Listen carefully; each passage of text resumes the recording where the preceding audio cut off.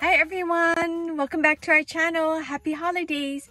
Well, today I'm going solo. I'm going to be meeting my friend for lunch and we're going to a restaurant called Merriman's, which is located in the Kaka'ako Ward Village area.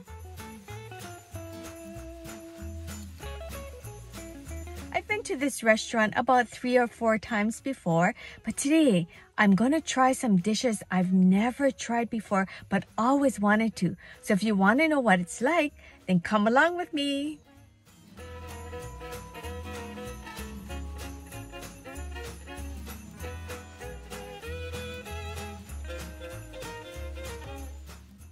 Welcome to Merriman's. Here, they are committed to serving only the freshest Hawaii regional cuisine with an emphasis of supporting our local farmers and local vendors. Once you enter this establishment, you get a feeling of happiness and joy. The decor is contemporary, subtle, yet sophisticated. You can have your choice of indoor or outdoor dining.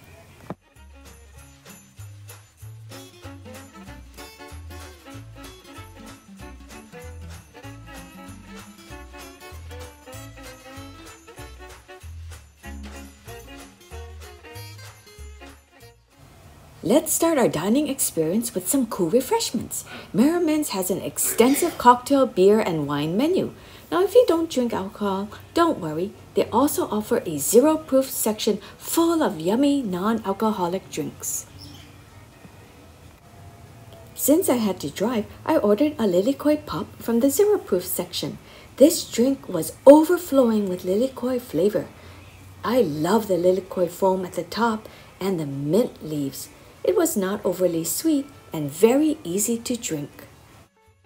Another drink we tried was the strawberry cooler. It was made with muddled strawberry, lime, and ginger beer for just a little bit of spice. They also added a sprig of rosemary for aroma. At Merriman's, they have a menu that's broken down into different sections, such as appetizers, sides to share, salads, and entree you can tell that all the offerings were going to be something very special. Tako, uh, tako and country bread. So how we make it is escargot style, uh, but we use a Spanish octopus, and then we actually cook it three times, so it's gonna be really, really tender. So we steam it, we bake it, and then we broil it. Wow. And then yeah, and then we top it off with the cognac, parsley, and garlic butter sauce. For our first appetizer, we ordered the tako and country bread. This dish resembles the French-style escargot, but instead of snails, they used tako or octopus. The texture was extremely soft, and the cognac parsley garlic butter sauce flavored the tako extremely well. I liked that I was able to dunk my country bread in the leftover sauce. It was so delicious.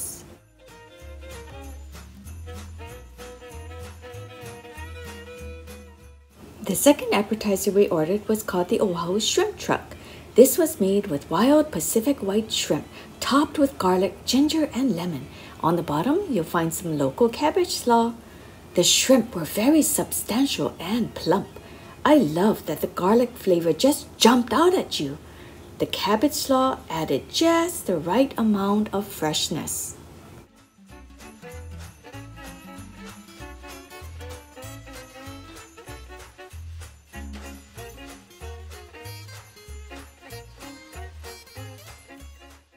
We can't go without eating our greens, so today we tried the roasted beet and fennel salad. It was made with frizzy lettuce, Hawaii Island goat cheese, orange slices, mint, cilantro, all topped with an acai vinaigrette. The salad was light with a hint of fruitiness. The orange slices added a nice citrus flavor to this delicious dish.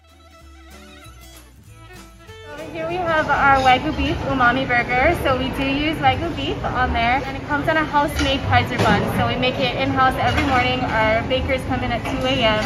Uh, and then we also have um, some arugula on there uh, and then some pickled onions, red onions.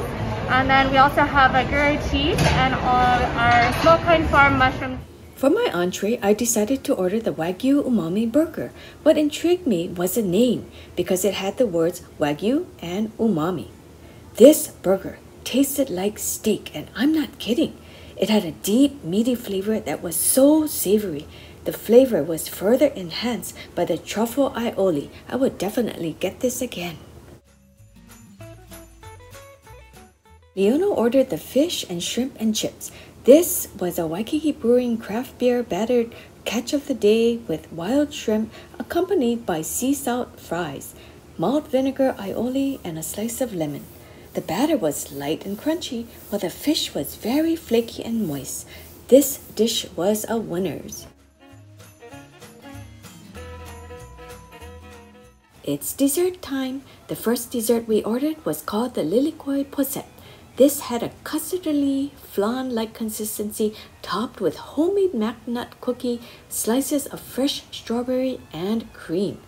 Again, it had a nice lilikoi flavor that was not too tart, not too sweet, but just right.